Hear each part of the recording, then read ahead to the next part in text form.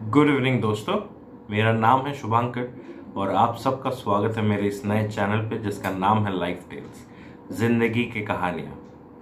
आज है 17 अप्रैल 2022 रविवार का दिन है और दिन भर मैं ऐसे ही बैठा हुआ था और शाम को चाय पीते पीते मैं सोचने लगा कि हफ़्ते भर जो हम दौड़ लगाते हैं, क्या वो वाकई में ज़रूरी है?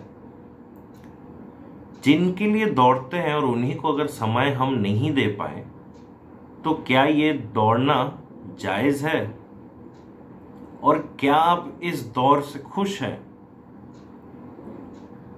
अक्सर मैं सुनता हूँ लोगों से कि करना तो मुझे कुछ और था और करने लगा हूँ और कुछ, क्योंकि ये समाज हमसे बहुत कुछ चाहती है।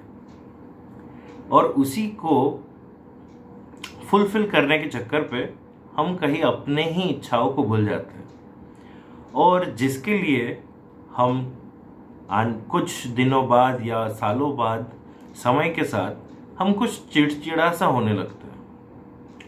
वो इसीलिए क्योंकि हमें जो करना था, वो तो कर ही नहीं पा रहे। क्योंकि महीने के एक तारीख से लेकर तीस तारीख तक जिस सैलरी के लिए हम काम करते हैं वो तो आता है और चंद मिनटों में ख़त्म हो जाता है। फिर से इंतज़ार शुरू होती है अगले तेईस तारीख की।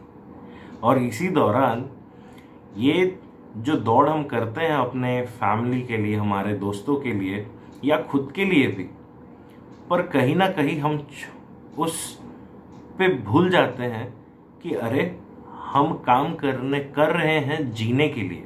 ना कि जीते हैं बस काम करने के लिए। आपको क्या लगता है? मैंने सोचा क्यों ना इस सोच को आपके साथ एक बार शेयर करूँ और जानने की कोशिश करूँ कि आप क्या सोचते हो इसके बारे में। कमेंट्स पे बताइएगा आप क्या सोचते हैं इस बारे में, ताकि इस पर और अच्छे से बात कर पाए।